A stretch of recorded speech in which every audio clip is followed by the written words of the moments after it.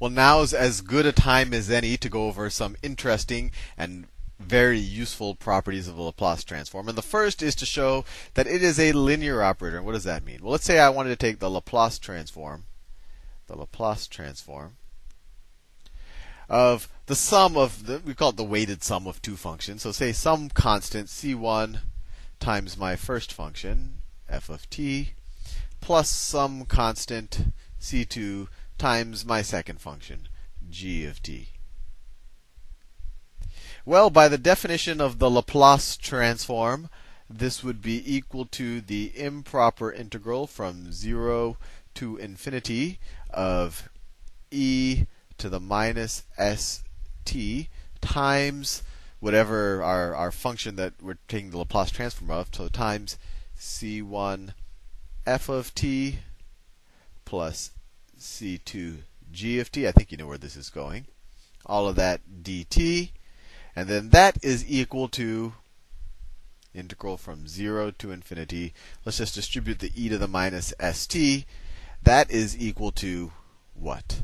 That is equal to c1 c1 e to the minus st f of t plus c2 e to the minus st g of t, and all of that times dt. And just by the definition of how or the properties of integrals work, we know that we can split this up into two integrals, right? If the, the integral of the sum of two functions is equal to the sum of their integrals. And these are just constants. So this is going to be equal to c1 times the integral from 0 to infinity of e to the minus st times f of t d of t plus c2 times the integral from 0 to infinity of e to the minus st g of t dt. And this was just a very long-winded way of saying, well, you know, what is this? This is the Laplace transform of f of t. This is the Laplace transform of g of t. So this is equal to c1 times the Laplace transform of f of t plus c2 times this is the Laplace transform, the Laplace transform of g of t. And so we have just shown that the Laplace transform is a linear operator, right? The Laplace transform of this is equal to this. So essentially, you can kind of break up the sum and go and you know take out the constants and just take the Laplace transform. That's something useful to know, and you might have guessed that that was the case anyway, but now you know for sure. Now we'll do something which I consider even more interesting and and this is actually going to be a big clue as to why Laplace transforms are extremely are extremely useful for solving differential equations. So let's say I wanted to find the Laplace transform, the Laplace transform of f prime of t.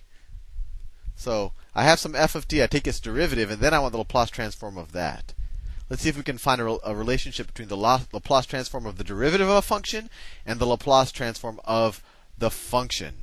So we're going to use some integration uh, by parts here. So let's let's just put the integration. Well, actually, let me just say what this is. First of all, this is equal to the integral from 0 to infinity of e to the minus st times f prime of t, f prime of t dt.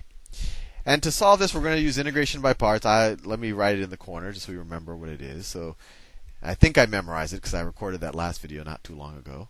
That the integral, I'm just going to write the shorthand, the integral of u of u, well, let's say u v prime, because that'll match what we have up here better, is equal to the the fu- both functions without the derivatives, u v minus the integral of the opposite. So the opposite is u prime v. u prime v. So here the substitution is pretty clear, right? Because we want to we want to end up with we want to end up with a with f of x, right? So let's make v prime is f prime, and let's make u e to the minus st. So let's do that. u is going to be e to the minus st, and v is going to equal what? v is going to equal f prime of t. And then u prime, u prime would be minus s e to the minus st. And then and then v prime. Oh, sorry, this is v prime, right? Right. v prime is f prime of t. v prime is is f prime of t. So v is just going to be equal to f of t. Hope I didn't say that wrong the first time. But you see what I'm saying. This is u. That's u, and this is v prime. And if this is v prime, then if you were to take the antiderivative of both sides, then v is equal to f of t. So let's apply integration by parts. So this Laplace transform, which is this, is equal to uv, which is equal to e to the minus st. This is equal to e to the minus st times v, f of t, f of t, minus minus the integral, minus the integral, and of course we're going to have to evaluate this from zero to infinity. I'll keep the, I'll keep the uh, the improper integral with us the whole time. I won't switch back and forth between the, the, the definite and indefinite integral. So minus this part. So the integral from 0 to infinity of u prime. u prime is minus s e to the minus st times v. v is f of t. f of t dt let's see, we have a minus and a minus. Let's make both of these pluses. This s is just a constant, so we can bring it out. So that is equal to, that is equal to e to the minus st f of t evaluated from 0 to infinity, or as we approach infinity, plus s times the integral from 0 to infinity of e to the minus st f of t dt. And here we see what is this? This is the Laplace transform of f of t, right? So this is equal to let's evaluate this part. So when we evaluated infinity, as we approach infinity, e to the minus infinity is approaches zero. f of infinity, now this is an interesting question. This is an interesting question. f of infinity, I don't know, that could be large, that could be small, that could approach some that approaches some value, right? This approaches zero, so we're not sure if this if this increases faster than this approaches zero, then this will diverge. I won't go into into the mathematics of whether this converges or diverges, but let's just say in very rough terms that this will converge to zero if f of t grows slower than uh, e to the minus st shrinks. And I'll maybe later on we'll, we'll do some more uh, rigorous definitions of under what conditions will f of t actually uh, will this expression actually converge. But let's assume that f of t grows slower than e to the st, or it converges or it grows slower than this than this than this uh, or diverges slower than this converges is another way to view it, or this grows slower than this shrinks. So if this grows slower than this shrinks, then this whole expression will approach zero. And then you want to subtract this whole expression evaluated at zero. So e to the 0 is 1 my, times f of 0. So that's just f of 0. f of 0 plus s times, we said this is the Laplace transform of f of t. That's our definition. So the Laplace transform of f of t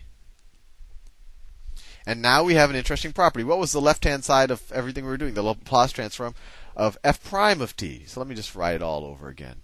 So we now know that, and I'll switch colors.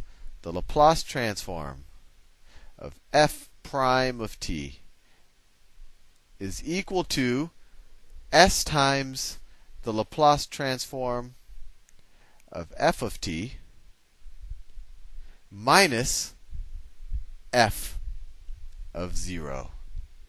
And now let's just let's just extend this further. What is the Laplace transform? And this is a really useful thing to know. What is the Laplace transform of f prime prime of t? Well, we could do a little pattern matching here, right? That's going to be s times the Laplace transform of its antiderivative times the Laplace transform of f prime of t, right? This goes to this, that's an antiderivative. This goes to this, that's one antiderivative. Minus f prime of 0, right? But then what's the Laplace transform of this? This is going to be equal to s times the Laplace transform of f prime of t, but what's that? That's this, right? That's s times the Laplace transform of f of t minus f of 0, right? I just substituted this with this, minus f prime of 0. And we get the Laplace transform of the second derivative is equal to s squared times the Laplace transform of our function, f of t, minus s times f of 0 minus f prime of 0. And I think you're starting to see a pattern here. This is the Laplace transform of f prime prime of t. And I think you're starting to see why the Laplace transform is useful. It turns derivatives into multiplication, into multiplications by s. And actually, as you'll see later, it turns it turns integration to divisions by s.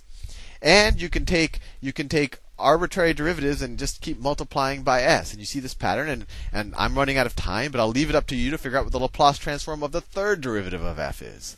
See you